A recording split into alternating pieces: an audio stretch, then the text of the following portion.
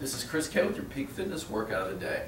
For our second core cardio workout of the week, uh, we're going to need a medicine ball. All right, so for our first drill, uh, we're, we're, going to set our clock for 30 seconds. We're going to perform either a medicine ball slam into the ground, think about chopping like an axe, or a squat to toss into the wall, where you just get close to the wall, up and down, just like that. Just make sure the wall is not plaster because it will fracture on you. So that's, uh, that's an important consideration to make.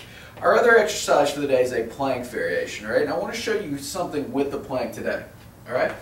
First and foremost, all right, I often see the plank butchered by people that, uh, again, kind of just get in the wrong position from the outset. So oftentimes you'll start here, it looks like you're humping the floor. So the first thing that I want you to think about doing before you do anything with the plank come into a uh, come into a position on all fours here. Screw your elbows into the ground so your elbows are tucked in. We Press your knees into the ground. Get your abs tight. Come onto your elbows. Come up into a plank position. All right. What I want to do from this point, moving very very slowly. Reach out of me. Pause. Reach out of me. Pause. But again, this is a very very slow and controlled movement. All right.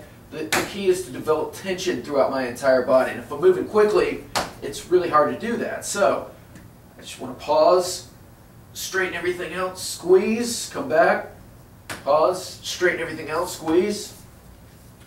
Just trying to keep tension on the core the entire time. All right, if that's hard for you, you can't do that in that position, you feel your back arching, whatever it may be, move to a higher surface such as a chair, a table, whatever. The key is that we're tensing everything the entire time, all right? That's going to get you the abs that you're looking for, and that's kind of the point of the plank exercise. So we've got the medicine ball slam to the throw, followed by the plank, 30 seconds back to back, for 10 minutes. That's your workout.